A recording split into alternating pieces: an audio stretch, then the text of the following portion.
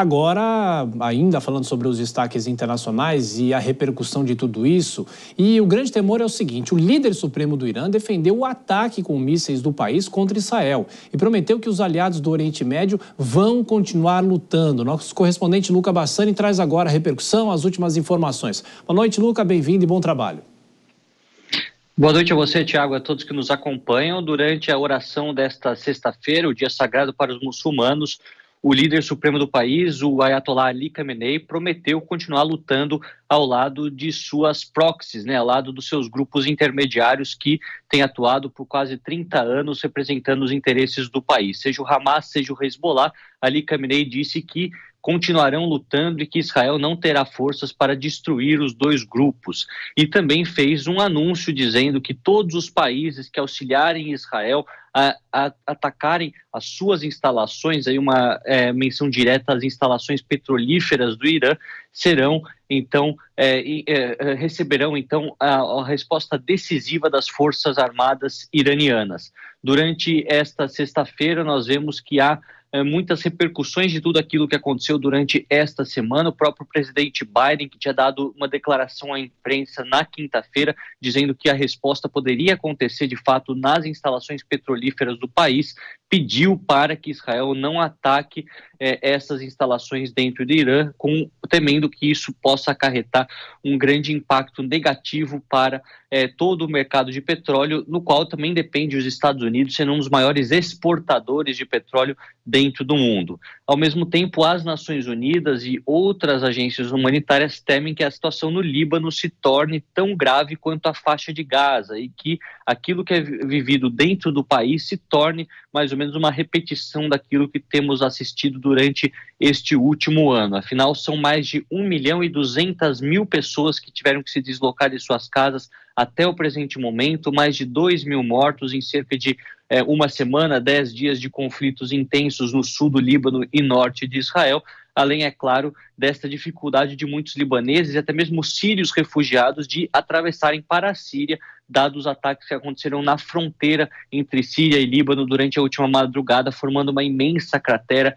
e dificultando todos esses trâmites. O Estado de Israel alegou que todas essas operações visaram impedir com que armamentos chegassem desde a Síria até o Líbano para suprir o Hezbollah e também buscando atingir o número dois do Hezbollah até o presente momento, que provavelmente pode ser o sucessor de Hassan Nasrallah, aquele que foi assassinado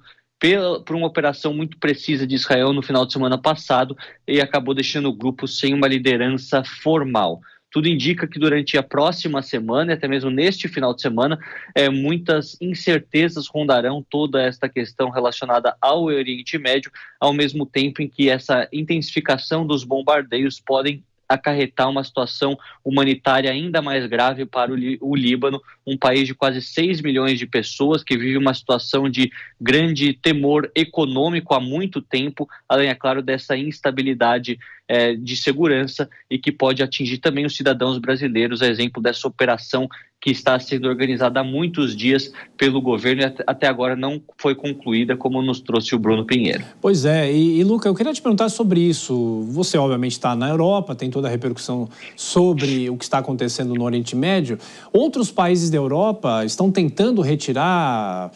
pessoas daquele fronte de guerra. O Brasil, obviamente, vem tendo dificuldades, porque, claro, há sempre não só a, a, a própria forma como se está se desenrolando o, o, conflito, mas também o deslocamento até o aeroporto, que é muito difícil. Outros países vêm tentando também sem conseguir?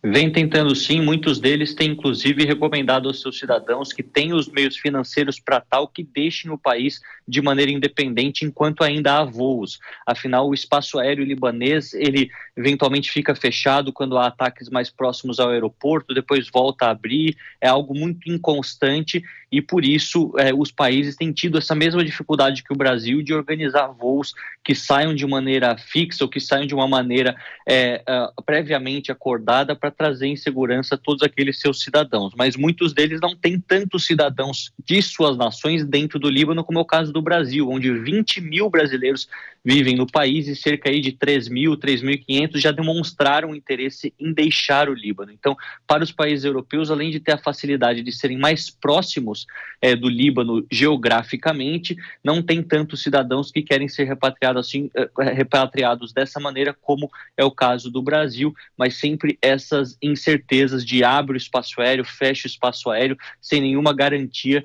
de que a situação melhorará durante a semana que vem, quando muitos destes voos estão previstos. Então, é uma dificuldade grande, principalmente se nós observarmos que as rotas terrestres também são limitadas. Afinal, o Líbano faz fronteira com a Síria, que é um país que também tem espaço aéreo majoritariamente fechado para voos comerciais. O aeroporto de Damasco há muito tempo não funciona e o Líbano é a porta de entrada destas pessoas para a Síria e o Estado de Israel, por ser um país que não tem paz com o Líbano, né, há muito tempo também não tem fronteiras abertas. Então, tudo indica que essa situação será muito difícil do aspecto é, logístico e também muitos considerando a possibilidade da evacuação pelo, pelo mar, né, pelo mar Mediterrâneo, assim como foi pensado em outros casos na faixa de Gaza e não foi concluído exatamente por falta de acordos entre as forças de defesa de Israel e o próprio grupo terrorista Hamas.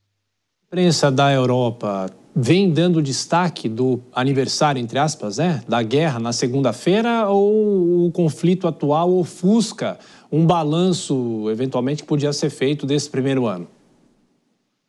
acabou ofuscando, Tiago, se nós pensarmos que agora as, os, o foco está redirecionado para o sul é, do Líbano, norte de Israel, mas todos é, sempre mencionam que dentro da faixa de Gaza a situação humanitária ainda é bastante grave, com a dificuldade de muitos, é, muitas agências humanitárias de trazerem itens básicos para os palestinos que lá vivem, com este um ano marcando então é, uma falta de perspectiva. Muitos acreditavam que poderia ser uma operação muito rápida, demorando aí duas semanas ou até mesmo um a dois meses no final do ano passado, e agora temos um ano e um cenário de guerra generalizada, não só mais concentrado nos 360 quilômetros quadrados da faixa de Gaza, mas também concentrado no Iêmen, na Síria, no Líbano e também no Irã, que agora também se tornou um uh, alvo é, potencial de Israel após esses ataques de centenas de mísseis de drones durante o mês de abril e também essa semana. Então, o balanço ele tende a, a é, fazer com que todos acreditem que será uma guerra longa por todo o Oriente Médio que poderá mudar vários paradigmas dentro dessa região,